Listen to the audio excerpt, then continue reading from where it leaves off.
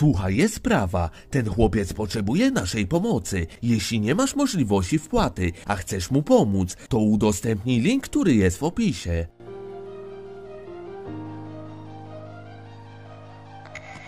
W dzisiejszym odcinku pogadam sobie o śmierci dzieci w serialu 19.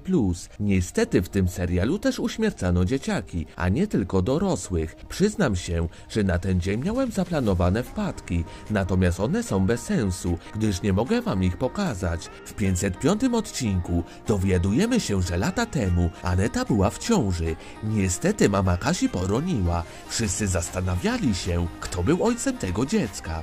Okazało się, że była w ciąży z panem Słoneczko, nauczycielem Kasi. W 92 odcinku jesteśmy świadkami kłótni Arka i Kamila. Gdy przyjaciele dotarli na miejsce, próbowali jakoś załagodzić całe spięcie. Udało się, ale Kamil wszedł na jezdnię, po czym został śmiertelnie potrącony. Był synem Mariusza i Alicji Pawlak. W 149 odcinku Pola po wyjściu ze szpitala czuła się dobrze. Nawet wtedy zajmowała się Julką.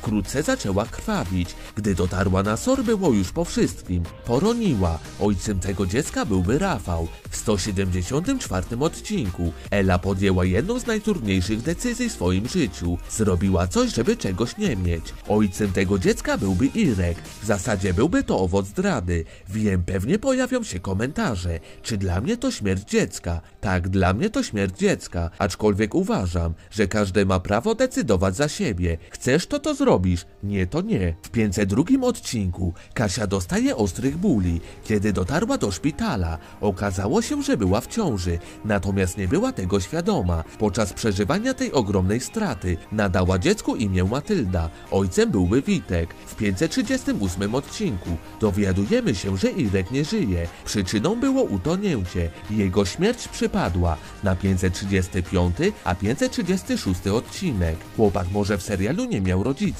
ale miał kochającą babcię, dla której zawsze był dzieckiem. Jeśli dotrwałeś do tego momentu, napisz 19, a przypnę ci serduszko i daj koniecznie znać w komentarzu, którego dziecka jest ci najbardziej szkoda.